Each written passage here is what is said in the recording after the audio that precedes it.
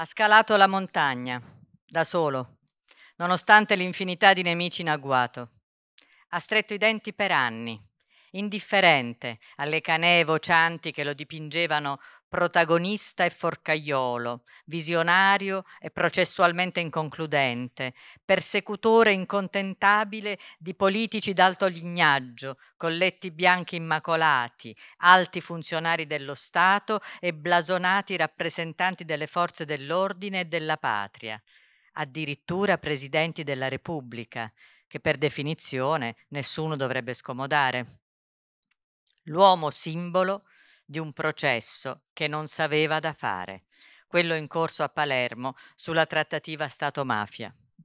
Lui, il diretto interessato, al secolo Nino Di Matteo, anni 56, 25 dei quali trascorsi nella magistratura siciliana, non ha fatto una piega.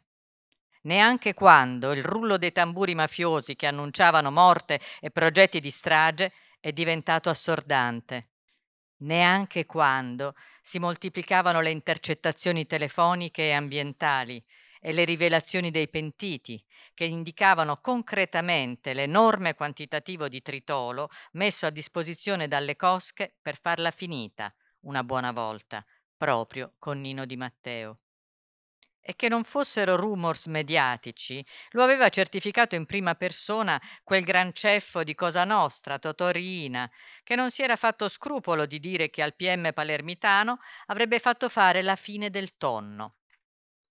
Dicevamo che lui, il diretto interessato, non ha fatto una piega. Aggiungiamo anche che non si è piegato e non si è mai piegato di fronte alle ingiustizie subite in più occasioni dal Consiglio Superiore della Magistratura. Oggi i torti vengono riparati. Un riconoscimento pieno da parte dello stesso CSM, riconoscimento unanime, infarcito di complimenti e lodi per il lavoro di questo magistrato che da solo ha dovuto scalare la montagna. Non gli è stato regalato niente. Gli è stato riconosciuto il dovuto, con molto, molto ritardo.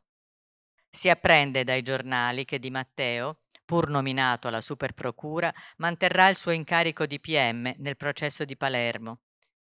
Se non insorgeranno ostacoli, la migliore opinione pubblica del nostro paese potrà essere fiera di avere sostenuto, nonostante il silenzio infingardo delle istituzioni, un magistrato che non ha fatto una piega e non si è mai piegato.